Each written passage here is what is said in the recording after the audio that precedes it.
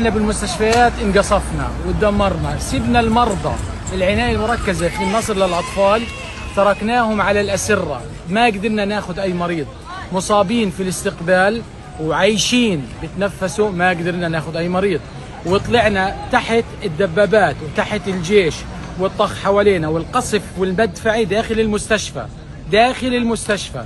الحمد لله اللي إحنا نجينا بروحنا. والحمد لله اللي وصلنا لهذه المواصيل بس أنا بقول كلمة لكل العرب اللي بيحضروا الفيلم تبعنا. لوين إيش بتطلعوا؟ إيش بتساووا قاعدين على الكراسي؟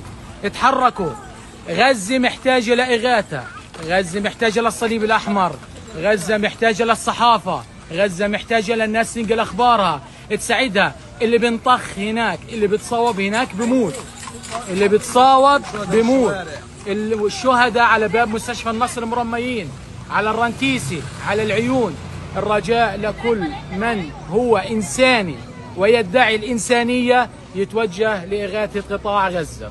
شو اسمك حضرتك؟ فادي أبو ريالة. آه، طبيب ممرض. أنا ممرض في أطباء بلا حدود وأشتغل في قسم العمليات في مستشفى الشفاء وأنا موظف صحة طبعا وأشتغل مع مؤسسة أطباء بلا حدود منظمة عالمية.